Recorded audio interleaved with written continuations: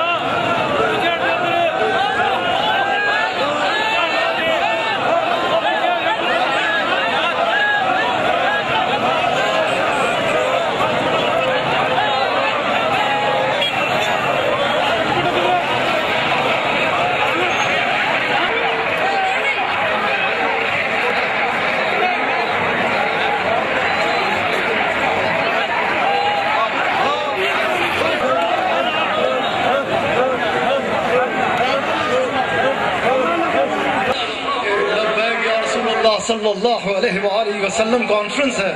قاری صاحب نے نعرہ لگایا۔ ادھر سے ہم نے نعرہ لگانا ہے۔ دل سے لگانا ہے۔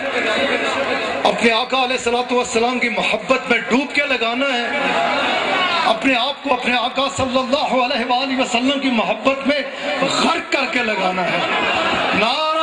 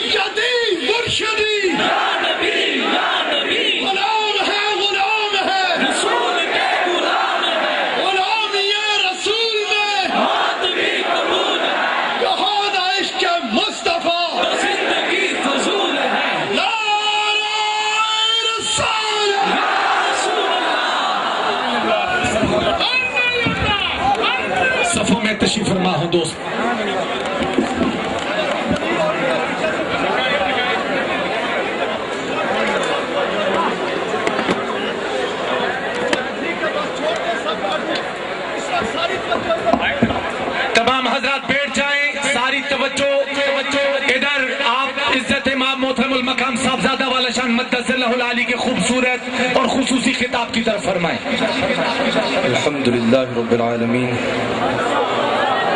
والصلاة والسلام على سيد الأنبياء والمرسلين أما بعد، فقد قال الله تبارك وتعالى في القرآن الكريم أعوذ بالله من الشيطان الرجيم بسم الله الرحمن الرحيم جاء الحق وزهق الباطل. إن الباطل كان زهوقا. صدق الله العظيم وصدق رسوله النبي الكريم. ونحن على ذلك ومن الشاهدين والشاكرين والحمد لله رب العالمين. سچا ہے ہمارا مالک اور سچا ہے ہمارا خالق. کہ سوا اس واحد و اکتا کی کوئی عبادت کے لائق نہیں. کریم ہے، رحیم ہے، بادشاہ ہے، بادشاہوں کا بادشاہ ہے۔ اور سچے ہیں اس کے پیارے حبیب صلی اللہ علیہ وآلہ وسلم کہ جن کی آج اس خوبصورت محفل پاک میں ہم اکٹھے ہیں۔ اور وہی کام کر رہے ہیں جو رب کریم نے عرش پہ تمام انبیاء علیہ السلام کے ارواح کو اکٹھا کر کے اپنے حبیب کو مسند صدارت پہ بٹھا کے کیا۔ وہی کام کر رہے ہیں جو سرکار نے خود حضرت حسان بن ثابت کو ممبر پہ بٹھا کے کیا۔ وہی کام کر رہے ہیں۔ کوئی نیا کام نہیں کر رہے۔ وہی کام کر رہے ہیں۔ جس کا رب کریم نے خود قرآن کریم میں حکم دیا۔ وَأَمَّا بِنِعْمَةِ رَبِّكَ فَعَدِّ وہی کام کر رہے ہیں۔ خطاب کا وقت نہیں ہے۔ وہی کام کر رہے ہیں۔ کہ جس کے بارے میں انہوں نے کہا البشر بعد از انبیاء. پہلے بتا دوں کہا کنہوں نے افسر البشر بعد از انبیاء. حضرت صدیق اکبر. آپ فرماتے ہیں کہ جس نے ایک درم بھی میلاد پاک کی خاطر خرچ کیا وہ کل قیامت کے دن صدیق کے ساتھ جنت میں جائے میں گفتگو کو پھیلاؤں گا نہیں کتاب کا وقت نہیں ہے کتاب جو میں نے آیت پڑھی اسی میں ہو گیا ہے۔ بہت اچھا۔ والا آج لائبریٹ میں حق آ گیا ہے۔ اوے لائبریٹ کی سرزمین تجھ کو مبارک ہو مبارک ہو مبارک ہو کہ آج لائبریٹ میں آج لائبریٹ کی سرزمین تیرے سینے پہ دو قدم آ گئے ہیں ان کے قدم آ گئے ہیں ان کے قدم آ گئے ہیں میرے مرشد کے ہیں جن کے سینے میں رسول اللہ کا عشق بنا۔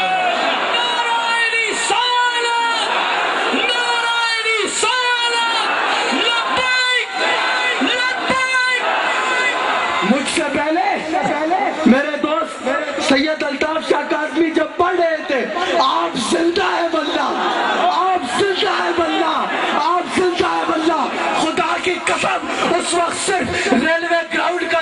کا نہیں جھوم رہا تھا۔ حاجی صاحب، اللہ آپ کو سلامت رکھے۔ آپ جس طرح سرکار کی محبت لوگوں کے دلوں میں ڈال رہے ہیں، اللہ تعالیٰ آپ کے چینل کو اور ترقیاں عطا فرمائے۔ صرف کیوں ٹی وی پہ دیکھنے والے ناظرین پوری دنیا میں نہیں جھوم رہے تھے؟ بلّہ اس وقت میرا ایمان کہہ رہا تھا، میرا ایمان کہہ رہا تھا کہ یہ رائیوٹ کی سرزمین اپنے مقدر پہ جھوم بہت اچھا کیا بات ہے بے شک جدھر یا رسول اللہ کا نعرہ لگا۔ بہت اچھا۔ پوری دنیا میں لائیو جا رہا ہے۔ پوری دنیا میں یہ حضرت ریکارڈ کر رہے ہیں جائے گا پروگرام سب سن رہے ہیں۔ یہ جو میں نے آیت کریمہ پڑھی کہ حق کہاں گیا؟ میرا علماء سے سوال ہے یہ کہاں پڑھی گئی تھی؟ حضرت علی نے یہ کہاں پڑھا تھا؟ رسول اللہ کے قدموں کے ساتھ کہاں ہلکایا تھا اور کہاں سے باطل بھاگا تھا۔ بہت اچھا بہت اچھا تین سو پینسٹھ بت باطل تھا۔ میرے آقا کے قدم لگے کعبے میں حق آ گیا۔ آج جس کو سجدہ کرتے ہو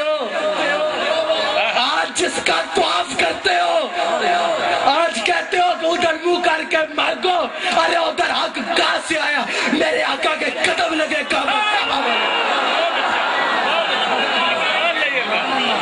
اچھا کیا اگر کعبے میں کعبہ ہے نا؟ رائیویل آپ کے مریدوں کی جگہ ہے۔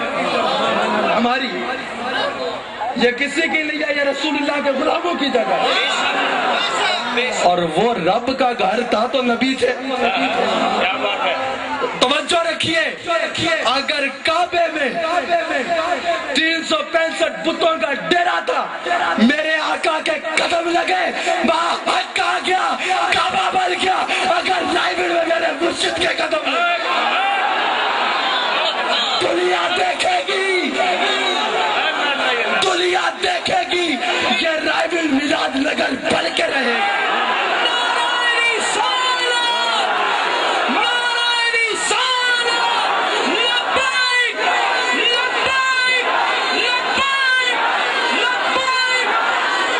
رائبل والوں تمہیں مبارک ہو آج رسول اللہ کا وہ غلام تمہارے پاس آیا ہے کہ رائبل میں رنگ لگ جائیں گے دیکھ نہیں رہے ہو رائبل کی گلی میں نعرے لگ رہے ہیں۔ لبیک! لبیک! یہ پہچان ہے۔ میں آگے بتاتا ہوں۔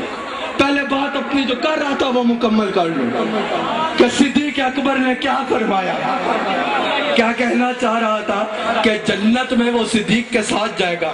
گفتگو نہیں کروں گا، لیکن یہاں ایک نقطہ دے دوں۔ جنت میں وہی جائیں گے جو میلاد مناتے ہیں بہت اچھے بہت اچھے کیا بات ہم رسول اللہ کے جنت رسول اللہ کی ہم رسول اللہ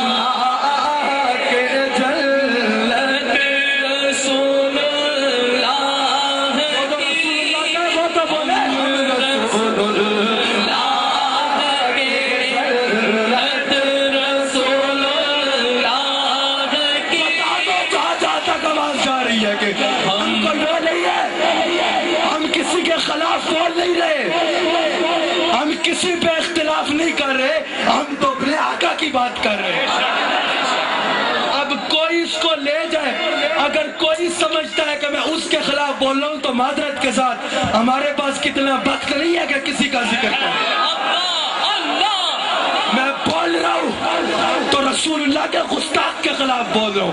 کسی کے دل میں اگر ایمان ہے تو اس کو میری بات بری نہیں لگے گی۔ کیونکہ میں کس کی بات کر رہا ہوں آپ بتائیں۔ رسول اللہ کی بات ابو جہل کو بری ضرور لگے گی، ایمان والوں کو نہیں لگے گی جی ہاں جی جس نے میلاد کی خاطر۔ مبارک اور احمد والا اتنی خوبصورت محفل۔ لیکن ایک درم۔ پھر بتاؤ کون کون ہے رسول اللہ کا؟ ہم رسول اللہ۔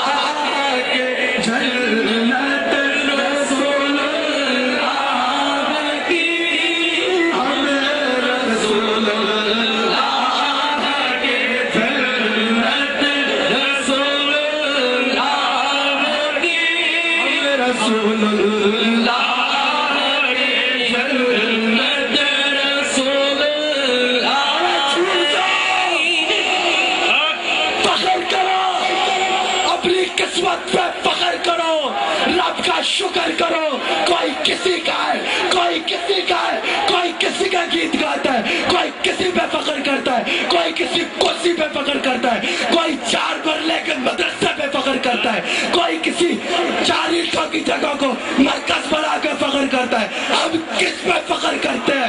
ہمارا کیا ہے؟ لوگ کہتے ہیں ہمارے پاس کچھ نہیں ہے۔ میں پوچھتا ہوں ہمارے پاس کیا نہیں ہے؟ کیونکہ ہم رسول اللہ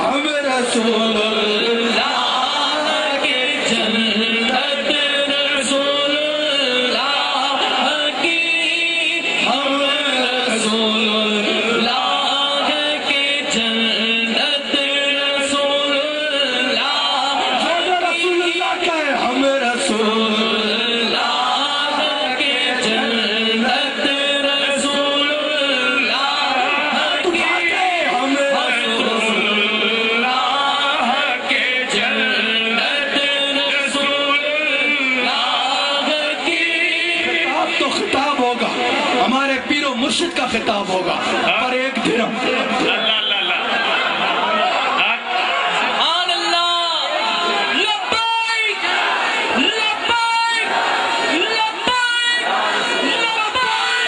جی تو جس نے ریاضی صاحب ایک درم بھی رسول اللہ کے میلاد پہ خرچا، وہ صدیق اکبر۔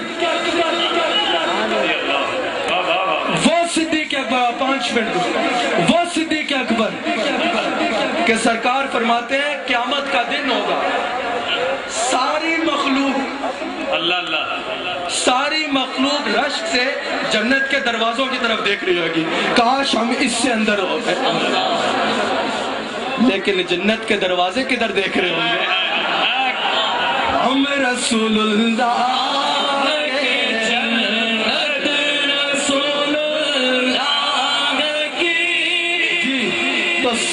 جنت کے دروازے صدیق اکبر کی طرف دیکھ۔ رہے ہیں یعنی ہمارے پیر مرشد کی طرف دیکھ رہے ہوں گے، صدیق اکبر۔ سب کے پیر ہیں نقش بندیوں کے تو پیر ہیں۔ ہے جی تو سب دروازے صدیق اکبر کی طرف دیکھ رہے ہوں گے۔ کاش یہ ہمارے میں سے اندر آ جائے۔ صدیق اکبر فرماتے ہیں کہ کسی نے ایک درم بھی میلاد پاک کی خاطر خرچ کیا، وہ قیامت کے دن جنت میں صدیق کے ساتھ جائے ساتھ جنت میں جائے گا۔ ساتھ جنت میں جائے گا۔ پھر حضرت عمر فاروق۔ آپ کی شان سے سب واقف ہے صرف ایک بات کروں گا آپ کے بارے میں، کہ ایک مومن اور ایک منافق۔ سرکار کی بارگاہ میں حاضر ہوتے ہیں۔ مسئلہ رکھتے ہیں، سب کو پتا ہے سرکار نے سرکار نے اس یہودی کے، ایک یہودی اور ایک منافق، حاضر ہوتے ہیں سرکار نے، ایک یہودی اور ایک مسلمان۔ سرکار نے یہودی کے حق میں فیصلہ فرما دیا کہ اس کے حق میں آپ نے فیصلہ فرما دیا۔ وہ وہاں سے نکلے تو انہوں نے کہا چلے رستے میں حضرت عمر فاروق کی رائے بھی لے لیتے ہیں کہ آپ اس کے بارے میں کیا فرماتے ہیں؟ جب اس نے عرض کی معاملہ رکھا سامنے کہ حضرت یہ مسئلہ ہے، تو وہ جو مناف، وہ جو یہودی تھا، اس نے کہا آپ فیصلہ کرنے سے پہلے ایک بات دیکھ لیں کہ آپ کے نبی جو ہے نا، وہ میرے بارے میں فیصلہ کر چکے ہیں، میرے حق میں۔ آپ نے فرمایا اچھا ٹھہرو آپ اندر گئے تلوار لے کے آئے۔ آپ نے اس منافق کا سر کاٹ دیا اور آپ نے فرمایا اگر رسول اللہ کے فیصلے کے بعد سن لو اگر رسول اللہ کی بات کے بعد کوئی کسی اور بات کی تلاش میں نکلے گا تو عمر کا اس کے لیے یہ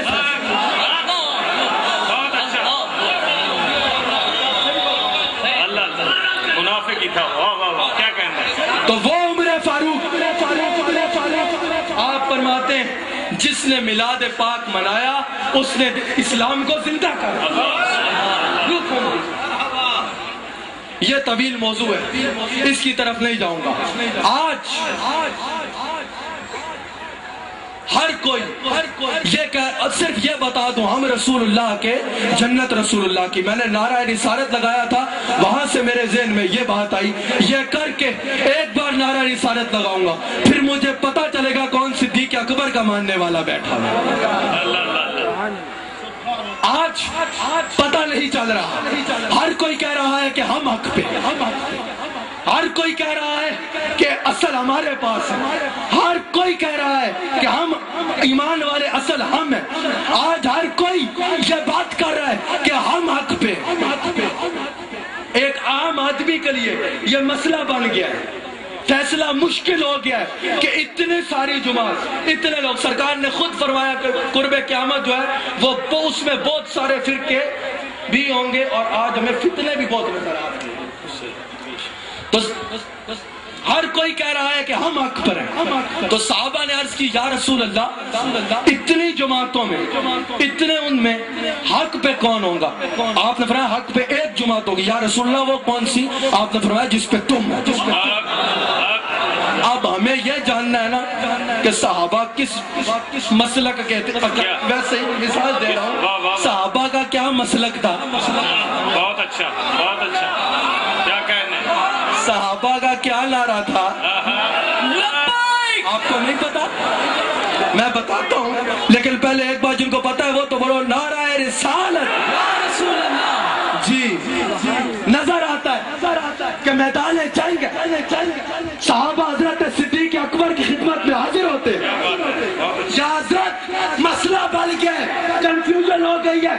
پریشانی ہو گئی ہے کہ داڑیاں ہماری بھی ویسی ہے داڑیاں ان کی بھی ویسی ہے پگڑیاں ہماری بھی ویسی ہے پگڑیاں ان کی بھی ویسی ہے لباس ہمارا بھی ویسا ہے، لباس ان کا بھی ویسا ہے۔ اللہ اکبر کا نعرہ جو بھی لگا رہے ہیں، ہم بھی لگا رہے ہیں۔ پتہ نہیں چل رہا کون رہ شیطان والا ہے مومن اور مشرق میں جاننا چاہتے ہو، کون مشرق ہے؟ آؤ صدیق اکبر کا فیصلہ بتاؤں تمہیں۔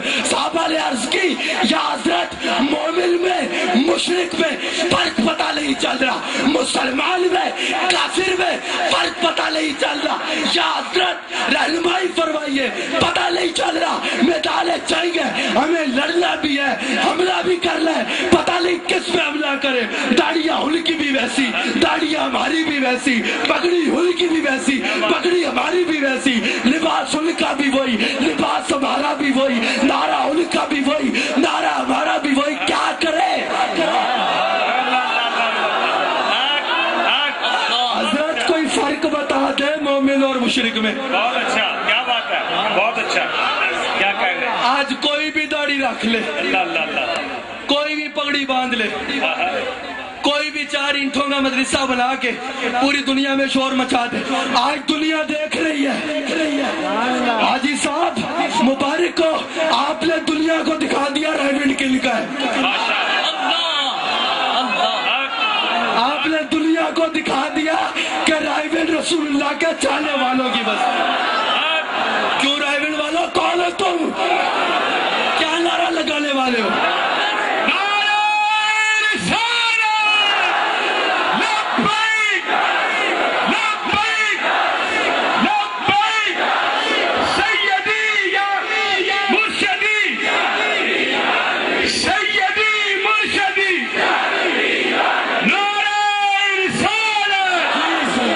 تو فرق کیا ہے میں مائک چھوڑنے لگا ہوں فرق کیا ہے یا حضرت نہ لباس کا فرق ہے نہ نعرے فرق ہے۔ کوئی فرق محسوس نہیں ہو رہا۔ نہ شکل میں فرق ہے، نہ لباس میں فرق ہے، نہ نہ یہ تمید اس لیے باندھ رہا ہوں۔ آگے کی بات تمہیں پہچان بتا کے جا رہا ہوں۔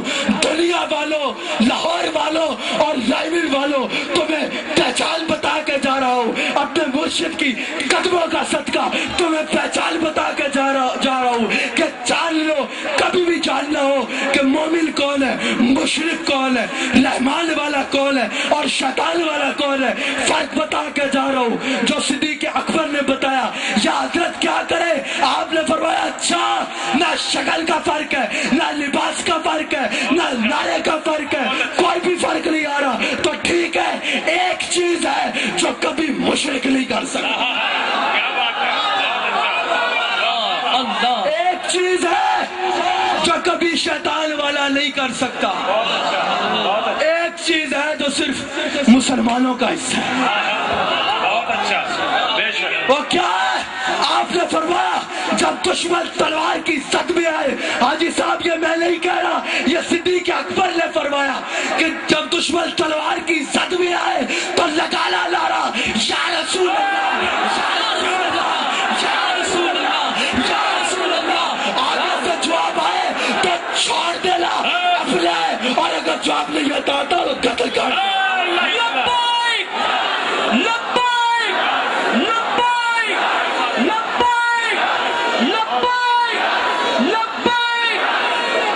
پوری دنیا میں دیکھا جائے گا۔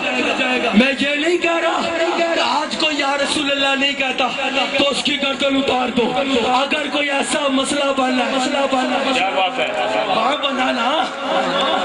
اگر یہ مسئلہ بن ہے کہ پہچان نہ ہو رہی ہو، تو میں نہیں کہہ رہا۔ صدیق اکبر نے کہا، کہنا یا رسول اللہ، جواب آئے تو سمجھ لینا اپلا ہے، نہ آئے تو گردن کاٹ دینا دوسرا۔ یہاں جو جواب نہیں دے گا، وہ اس ڈر سے نہ دے کہ گردن کاٹ دی جائے گی۔ پر جس کو میری بات سمجھ لگی ہے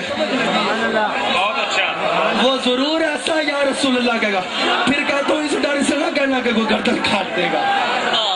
ہم اس نبی کو ماننے والے ہیں جو مردے زندہ کرتا ہے۔ زندوں کو۔ مردہ نہیں کرتا مردے کیا زندہ بات کرتا ہے۔ ہے؟ بہت واہ واہ واہ۔ ہم رسول اللہ کے ماننے والے ہیں کوئی دہشت گرد نہیں ہے۔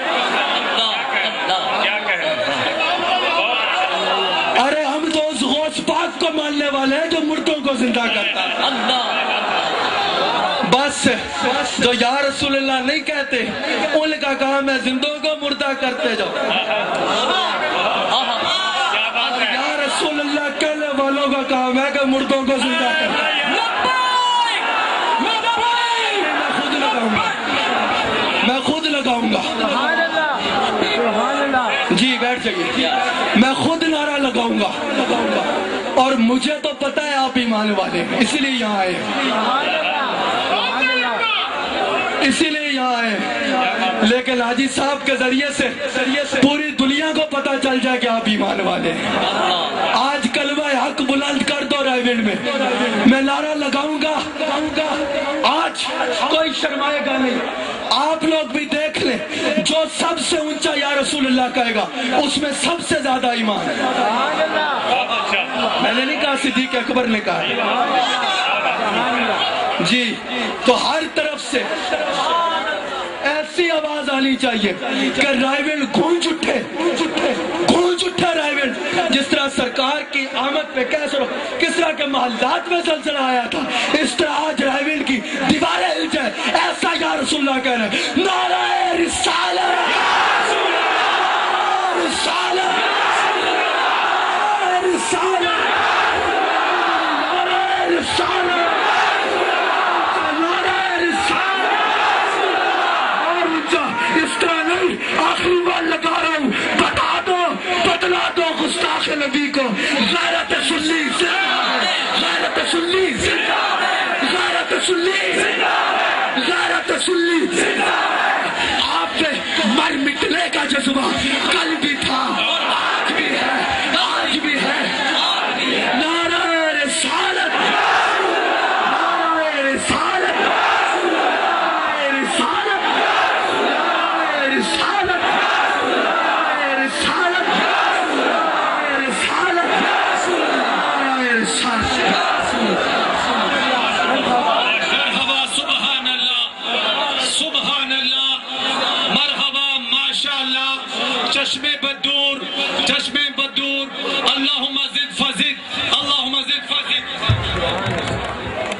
اور جائیے جناب الحمدللہ ثم الحمدللہ ثم الحمدللہ بیان کی آپ کو ضرورت باقی نہیں رہی خطبے کے لیے ہم کھڑے ہونے لگے ہیں